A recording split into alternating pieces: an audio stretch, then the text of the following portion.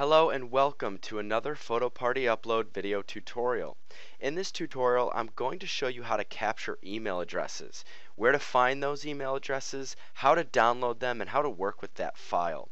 So the first thing that we need to do is log into our account at login.photopartyupload.com and that'll bring us to this home screen where we can see all of our events listed here in this grid.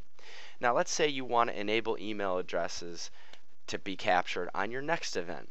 We would scroll down to the bottom and we would click on create new event.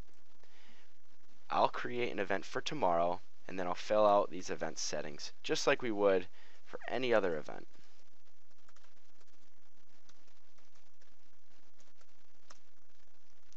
Alright, once we get to this screen here, we need to make sure that this box next to enable collect emails is checked.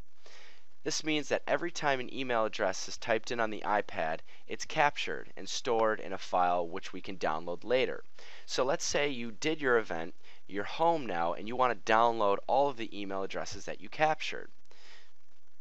You would log into your account, and next to your event name, under download, there's a blue link, and it says emails.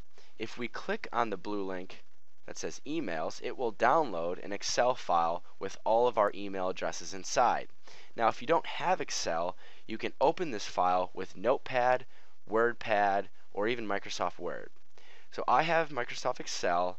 I'll click on the first email address and I'll drag my cursor down and I'll select all of the email addresses, hit Control C or Apple C on my keyboard to copy them all, and then I'll be able to paste them in an email or in another file. So that's how you capture email addresses using Photo Party Upload.